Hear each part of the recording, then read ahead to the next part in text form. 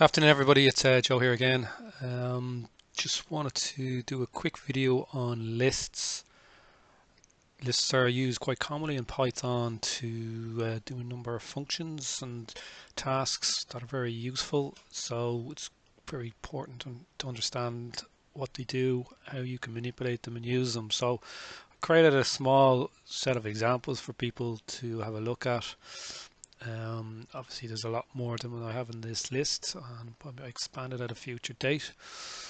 But um, as you can see on the screen here, there's a number of things you can do. So you can create a, an empty list.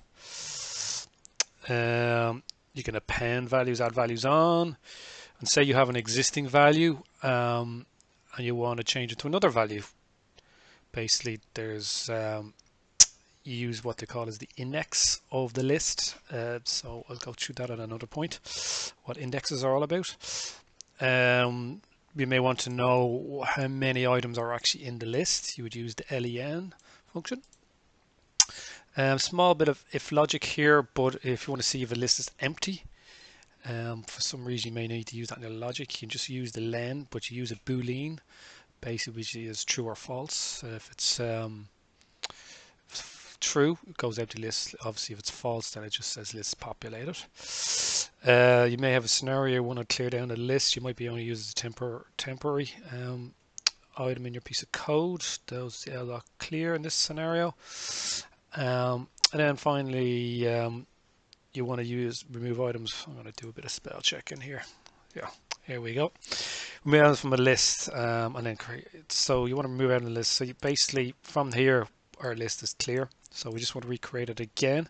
So in this scenario, just recreate the list. We obviously print it. I'm going to show you now in a second when I run the logic. And in this scenario, we have the value A. And what we want to do is just remove that value from the A from the list, a value A from the list. Um, so you know, we just run through this logic very quickly and just show you the output. So I'm just going to click run here. So there's your scenario. There's your empty list. There's where we've added a value A basically then we change the A value to B value and then we've basically checked to see how many values in the list which is obviously one. Um, to see if the list is populated which it is. Basically clear the contents of the lists um, so that's gone back to an empty list. We create another list with values A, B and C and then basically VAS the code to remove the value A and then we'll reprint the list as the value B and C. So I hope that code uh, is good at explaining some very uh, basic and useful bits and pieces you can do with lists. There's a lot more you can do with lists, um, but this hopefully gives you it's a good start or a good introduction on what can and can't be done with lists. Thank you. Goodbye.